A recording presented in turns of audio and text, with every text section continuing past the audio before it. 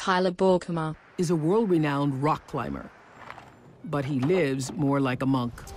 We're in my van right here. Shocking, isn't it? Got my bed, got my stove. Not much else to see here. what you see is what you get. People who know a little bit about climbing, they're like, oh, he's totally safe. And then people who really know exactly what he's doing are freaked out. El Cap is the most impressive wall on Earth. It's 3,200 feet of sheer granite. It's the center of the rock climbing universe. Obviously, I get interview questions about it all the time. Oh, would you like to do that? It's really hard for me to grasp why he wants this. But if he doesn't do this stuff, he'd regret it. Everybody who has made free soloing a big part of their life is dead now. What if something happens?